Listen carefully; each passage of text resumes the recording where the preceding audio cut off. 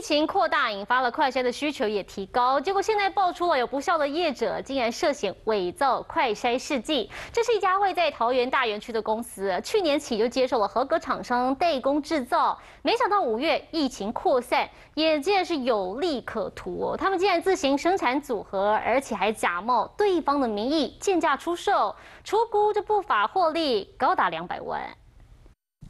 厂区人员穿着防尘衣，戴上防尘帽，一行人正在赶工制作，没想到却突然有一大批的剪掉人员进到里头搜索。郭真在一旁发现好几篮材料，这些都是证据，因为这一家公司涉嫌伪造快筛剂组合包。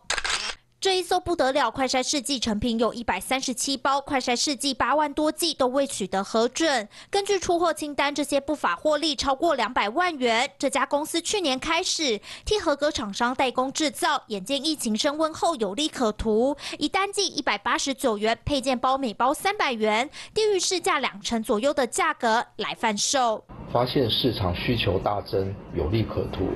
竟未经卫福部核准，违反契约。冒用合法公司名义未贴标签，来私自生产快筛试剂及相关配件，已违反医疗器材管理法第六十一条，移送本署侦办。